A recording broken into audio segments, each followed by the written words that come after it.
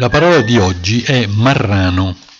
Con questo epiteto ingiurioso gli spagnoli del Medioevo si rivolgevano in modo altezzoso ai mori e agli ebrei, da poco convertiti al cristianesimo, e ai loro discendenti.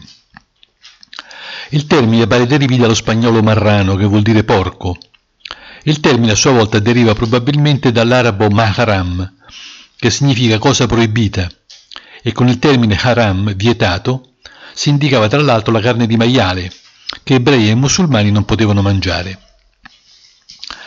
Il nome ufficiale di questi mori ed ebrei era in realtà, da poco convertiti, era in realtà conversos o cristianos nuevos, e un decreto del re di Castiglia vietava già nel 1380 di usare il termine ingiurioso di marrano.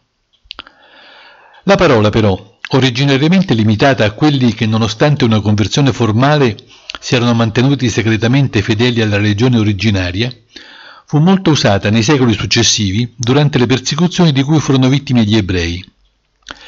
E a causa del diffuso antisemitismo e del sospetto nei confronti dei convertiti, il termine marrano non ha mai smesso di essere popolare.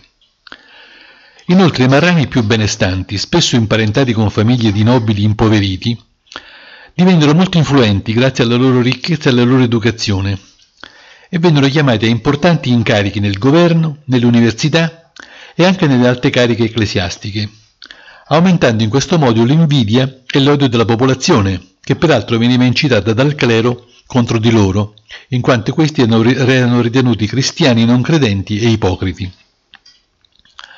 I marrani avevano quindi nell'immaginario popolare la connotazione, la connotazione della viltà, della proditorietà. Il marrano è traditore, spergiuro e felifrago, intrigante, ipocrita, un caino ingannatore e sicofante. Il termine è quindi passato a indicare in modo generico un uomo falso, infido, cattivo, un traditore, e poi per estensione, talvolta anche in modo scherzoso, una persona rozza, villana e tracotante. Oggi il termine non ha più ragione di esistere e infatti anche il suo uso ingiurioso è venuto meno.